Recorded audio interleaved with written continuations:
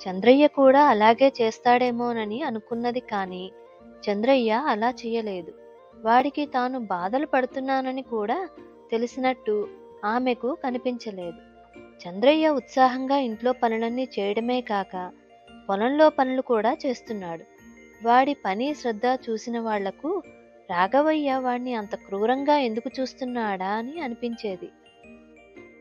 చూసి చూసి రాఘవయ్య భార్యే ఒకనాడు తెగించి చంద్రయ్యను చాటుగా పిలిచి ఒరేయ్ నీ వంటి మంచివాణ్ణి నీ యజమాని నానా శ్రమలు పెడుతూ అనవసరంగా తిడుతున్నాడు కొడుతున్నాడు.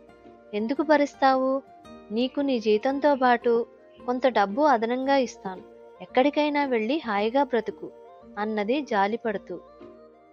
అదేమిటి అమ్మగారు? మీరు నా తల్లి లాంటివారు అయ్యగారు తండ్రి లాంటివారు నన్ను ఏమన్నా ఆయనకు నా మీద ప్రేమ ఉంటుంది? నా మీద ఆయనకు కోపం ఎందుకుంటుంది? నా మేలు కోరే ఏమైనా చేస్తారు? మీకు సేవ చేస్తూ బ్రతికితే నాకు అదే చాలు అన్నాడు చంద్రయ్య. ఈ మాటలు చాటును నిలబడి విన్న రాఘవయ్యకు తనను ఎవరో శూలంతో పొడిచినట్టయింది.